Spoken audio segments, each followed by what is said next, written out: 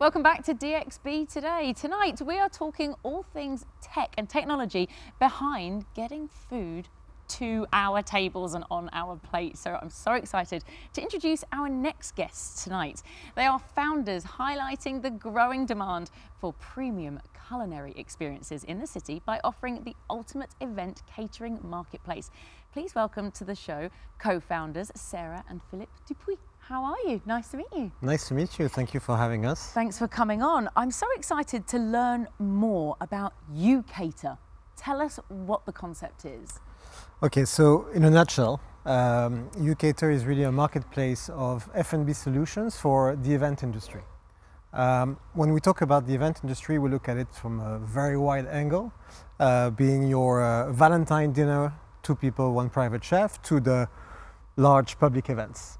Uh, so we create the whole uh, the whole spectrum of the event industry. And when we talk about F&B solutions, it's from the private chef that uh, you can have at home to the food trucks, to the caterers, uh, fine dining outlets uh, that would basically reproduce a pop-up restaurant experience in your own home.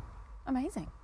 I'm just curious, is this like a package where you just click, okay, it's package A, B, or C, or is this a more curated experience? So, um, so the whole platform is curated, and all our providers, uh, partners, mm. as we call them, uh, are fully vetted. Um, and you have two routes to basically organize your, uh, your events. Uh, you have the customization route where you basically tell the, the platform what are your requirements, type of cuisine, number of people, date, etc. Then all these, these criteria are pushed to the relevant providers and they can access all these uh, inquiries through a dashboard that they have access to. Uh, and on the dashboard, they can chat uh, with the client, exchange uh, videos, pictures, they can even call the direct call. Um, and the other route is the all-inclusive, fully curated experiences um, where you basically have, uh, I don't know, you want Mexican food, uh, well, you will have your 20 people, you will basically add 20 people to your basket and the whole experience will come to your home uh, with the chef, with the kiosk, uh, people cooking, everything, and that's it, you don't have to do anything. Sounds a bit too easy to me, doesn't it? it is, actually. I wanted to ask. yeah. I, you go ahead. so, um, how, how much time do I need to, beforehand, to be able to curate an experience? It's, uh, it all depends on the, on the, the partners you want, but uh, typically you would need uh, more than a day. Uh, usually three days before the event is, is good enough time. That's excellent. Um, sometimes you can plan it uh, even uh, 12 hours before. This is Dubai, right? you have to be ready 12 hours You've before. Got to be quick, agile. So Sarah, like, yeah. would you have you noticed that most of your clients are coming from private parties, weddings? Are you seeing a lot of corporate clients? There's actually a really nice mix of both. Um, so initially there was quite a lot of traction on the private side, people hosting birthday parties, um, small gatherings, um, and like just smaller events. But now actually we're having quite a bit of corporate inquiries. We're doing corporate breakfasts, luncheons, brand activations um, for real estate companies even, where they invite their sales team in and they need some food to go along with that. But actually even all the way up to like big public events. So we've actually created the F&B area for the STEP conference in uh, Dubai Media City, um, Dubai Internet City, sorry uh, in February, and that was over 8,000 people, and we just provided um, the whole F&B offering actually of the whole event. So, and there is some other interesting uh, public events in the pipeline this year. So we like to hear that for yeah. the future. We like the future. Yeah. Sarah, what about why? Why did you start YouCater? Was there a, some kind of gap in the market that we should have known about? Um, absolutely. So I've been in finance for a really long time, busy mom. And every time I wanted to host something at home um, with friends, be it like for my kid's birthday, etc., it was such a struggle to actually like find the right caterer, who's available, who does what. Um, so we were just thinking like, why don't we set up something like this uh, ourselves? And uh, but the tech part of it is really important, isn't mm -hmm. it? Mm-hmm. Because that is Absolutely. so, as far as I know, Omar, so unusual from a, a catering mm-hmm. perspective, mm -hmm. if you like. No, it's look, it's it's at the end of the day, it's the way to scale. Um, and I think that uh, uh, it's also the way to basically uh, uh, help our partners to reach uh, to reach a, a, new audience. Uh, some of our partners don't have the the sales team to basically go and, and pitch to corporates, um, and so it's it's a great tool for them. Uh, and being, a, be, having this dashboard and being able to see everything that's going on is great as well.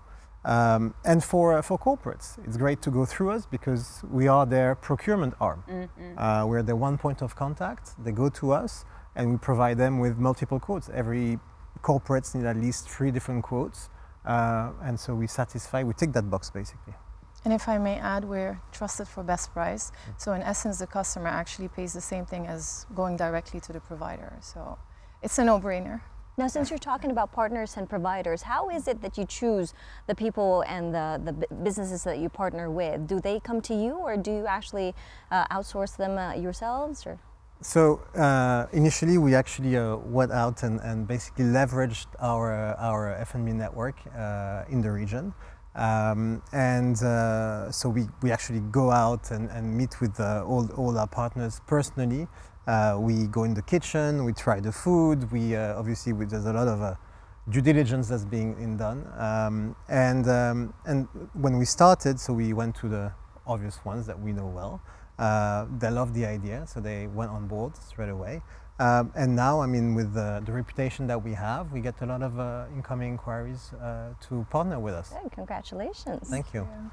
Have you faced any challenges, do you think, in trying to bring a new kind of business concept like this? And I guess Omar, I'll ask you the same question because it's it's kind of new as far as I can understand in the region.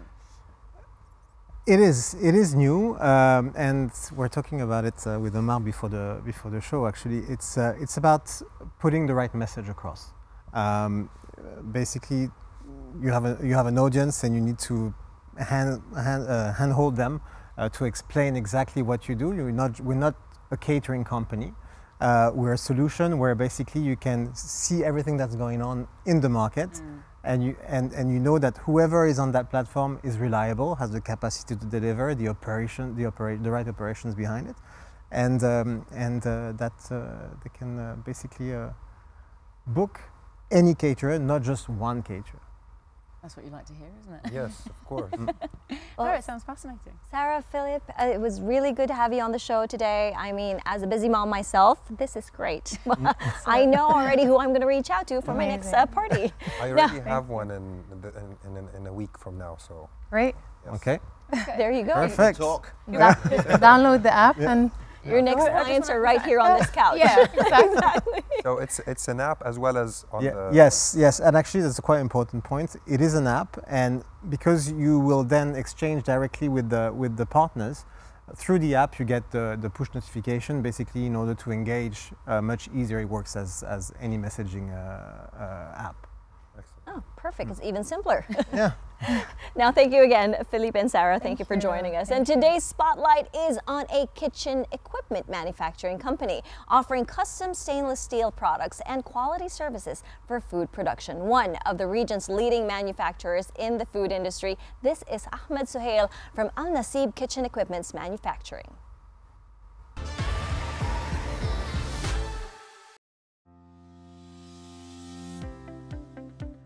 Hi, my name is Ahmed Suhail. I represent my company Anke. We design, fabricate, and install stainless steel commercial kitchens and front of house display counters for the likes of premium cafes. We manufacture European standards display counters in the factory that we have based in Ajman. So any premium cafe owner who is coming from any different part of the world and establishing their business in Dubai, they don't really have to go to Italian manufacturers to have their front of house cake display, chocolate display, ice cream display counters manufactured.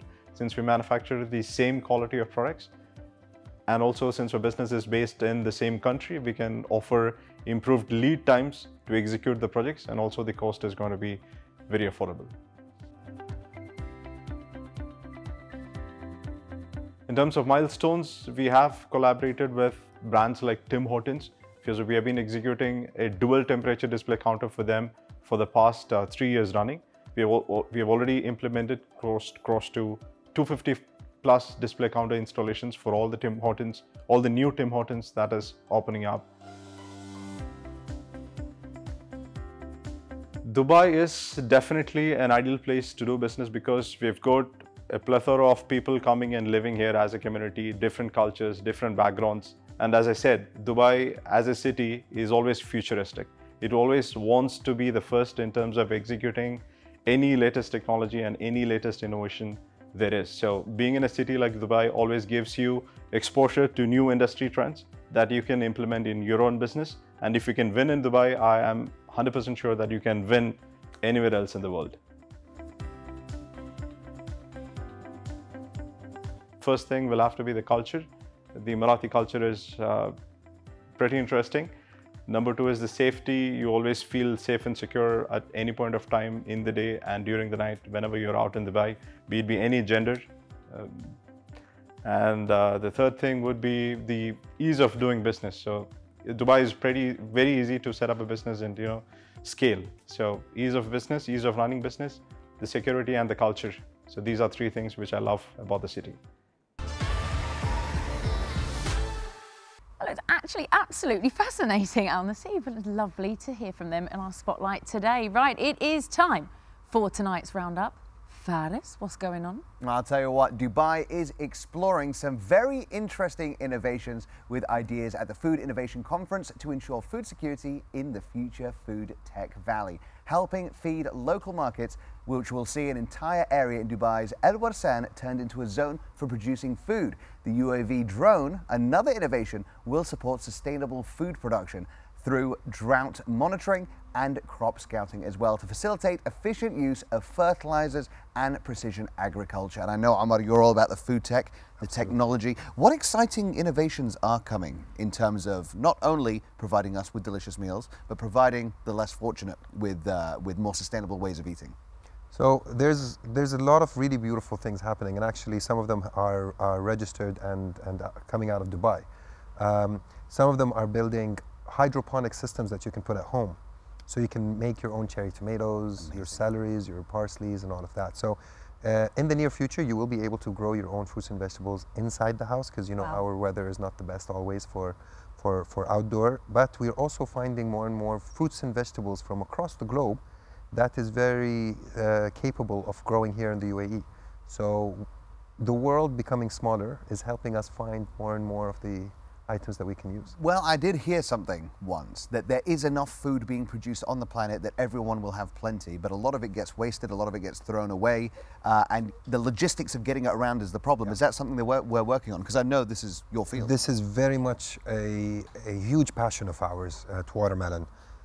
We do not like to see food wasted, especially with what's happening in the world, and, and, and therefore this is something of a, of a great uh, uh, challenge for us to, to solve, but with our ecosystem and our partners, we are finding solutions. So there are multiple solutions that will take that food and use it as compost. There's multiple solutions where if you have a large catering event, the food that will be that, that's not eaten is usually repurposed and, and others will eat it. Uh, so we do have a lot of partners that are working with us to, to help that sustainability. And we do implore or, or, or ask anyone who is interested or is working in that to do reach out to us because we are very much uh, uh, passionate about making sure that food does not get wasted and everybody gets fed. I love that you're already bringing up food waste because that's what we've got coming up next. Yes, coming up we are simplifying food food waste tracking with the CEO of an inventory tech. It's an award-winning inventory tech, mind you. And that's all coming up together with some great music and DXB today.